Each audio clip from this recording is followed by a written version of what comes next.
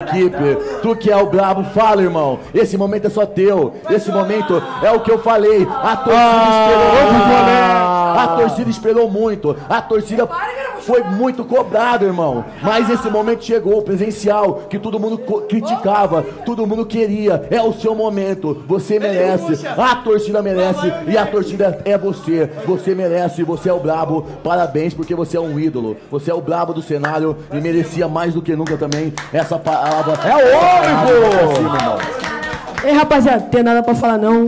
Valeu. Bacana. Ian,